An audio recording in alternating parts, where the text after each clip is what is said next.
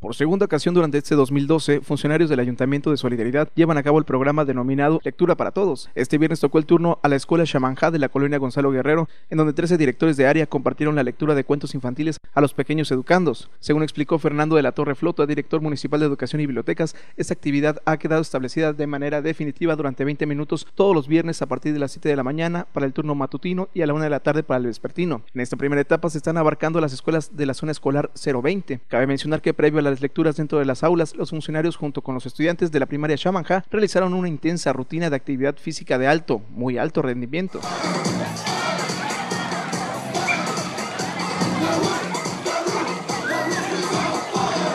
Por último, y aprovechando el tema sobre la importancia de la lectura, cuestionamos a los directores participantes sobre cuál había sido el libro que más les había gustado leer o el que haya sido importante en su vida, a lo que contestaron lo siguiente.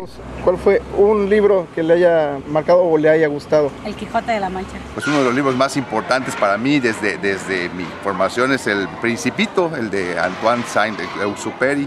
El primer libro que a mí me regaló fue El Patito Feo el patito feo, no sé si ustedes han escuchado de Hans Christian Andersen. El libro más importante que haya marcado tu, tu vida. El príncipe de Maquiavelo. no, no, me van a chamaquear. Sigue Peña Nieto. Peña Nieto. ¿No?